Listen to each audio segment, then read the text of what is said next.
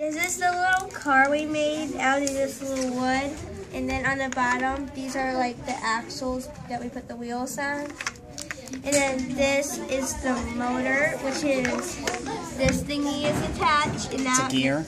the gear is attached. It makes it run. Ring the bell again. And then the batteries. And then the batteries like support the motors to make it go faster. Okay. And the Legos are the way to Okay. Uh, raise the wires a little bit so that they're not hanging off. Okay. We're gonna eventually put a solar panel on this. I agree. Okay. You guys ready? Okay. Be ready. Wyatt, you gotta be paying attention. Already, already. Okay. It's gonna go. Oh, it's backwards. I got I was it. trying to. It does don't. Be, be real careful with it. Yeah, I got it.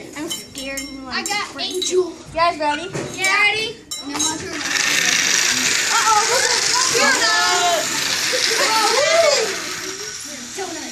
It's not good. Oh, It spun around because there is not enough weight in the back of it, and these wheels kept pressing on this, and then it just did that. And so now we have to add weight to the back of it. And then we start. And there. Okay. Just turn around and it again. It Look goes at perfectly straight. Go.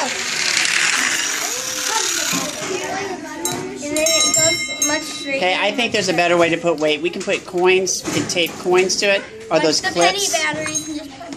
Penny batteries. and just- We can put weight on it. We'll get a certain amount of weight, and we'll find out the best amount of weight that makes it go the fastest and the most stable. Okay. Okay.